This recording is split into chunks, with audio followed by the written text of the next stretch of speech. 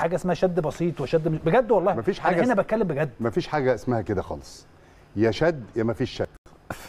خفيف بقى مش مش خفيف تقيل. الراجل شادد المدافع شادد من الفانيلا وباينة جدا جدا في آه، الإعادة. وباينة حتى على مستوى ال- الصور العادية. لا في حاجة باينة في. الصور غير متحركة اللي هي التيشيرت معمولة كده. بس خلاص باينة. الشدة هاتها. هاتها سمير لو سمحت. يعني أنت عارف يا. أسلام؟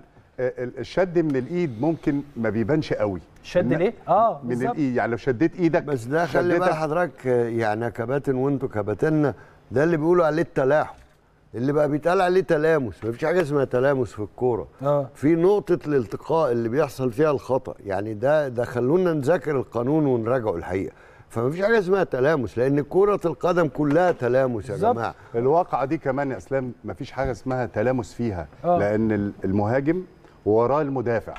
مش مثلا كورة بينهم وفي كتف في كتف هيقول لك هي مثلا هي يا أستاذ عصام دي اللي انت قصدك عليها. أيوه. آه يا كابتن لأن إحنا في القاهرة 24 زميلنا محمد جمال في القسم الرياضي أنا عبد الصبور رئيس القسم لما أتكلم معاه قال له كلم الراجل وقول له وأقول له بقى مش قول له يعني قول له فهمنا اللعبة إحنا بنحاول نخلي الجمهور يبقى أنا كان. معايا من شوية الأستاذ محمد جمال بالمناسبة وإحنا في الطريق وقال- يمكن آه، ولا حاجة. وقال إن هو وأنا جبته معايا على التليفون أنا بقول يعني. لحضرتك bye bye. يعني آه. لأن الراجل قال له قال له هناك من الشد ما يسقط اللاعب ها و و وإذا لاعب. ومن الشد ما ما قتل. قتل أيوة. وهناك شد يجعل اللاعب يمثل. يعني حتى يعني بيقول لي هاني إن جمال شكله بقى عامل زي ما يكون تحول وجهه لعلامة استفهام. ما هو برضه راجل بيغطي اتحاد الكورة وبيغطي لجانه. فلما يقول له على إن في صورة يا مستر فلان ويوري له الصورة يقول له لا أصل الشد لو تبعه إنه خد الكورة على أو محاولة اخد الكورة هياخد الكورة إزاي ومين اللي هياخدها؟ أنا لا رأي اسلام في الموضوع ده اتفضل يعني آه، معلش أنت- هو أنا بس اصلي بقرا آه. حاجة يعني برضو علشان جالنا تصريح أو رد على ال- المكالمة اللي عملناها أو الكلام اللي قلناه منذ تمام. قليل آه، فيما يخص تأكيد آه، على ان بريرا آه، آه، أكد على صحة قرار الكابتن محمود البنا آه، زميلنا آه، أمير هشام في آه، برنامجه بلس 90 آه، قال آه، إنه تواصل مع بريرا وأنه لم يؤكد صحة قرار البنا بعدم احتساب ركلة جزاء لصالح سموحة ضد الزمالك ولم يتم الإشادة بالحكم على الواتساب. يعني لم كلام مغاير بقى. كلام آه يعني هو هنا بينفي الكلام اللي كلام قاله مغاير. مع الأستاذ محمد جمال. تمام. طبعا دي مشكلة مشكلة.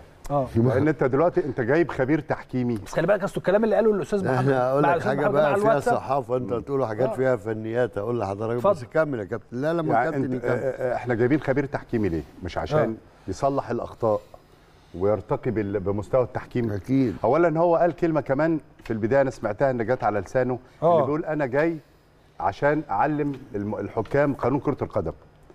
أنت جاي تعلم الحكام الدولية قانون كرة القدم ده المفروض الحكم الدولي أو أي حكم في الدنيا ألف به إن هو يبقى عارف القانون. كويس. قوي إنما هو بقى في آه، آه، كور ومواقف معينة هي دي اللي المفروض يصلحها.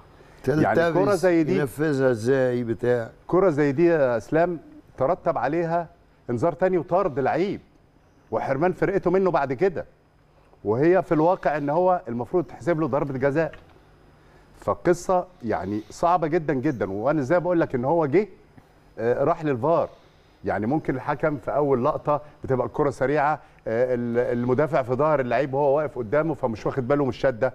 إنما لما تروح للفار وتشوفها ما فيهاش نقاش. يعني أنا تخيلت إنه هيروح هيحسب ويرجع آه، ال- الإنذار الثانية. والطرد ده. يعني أنت فاهم إزاي؟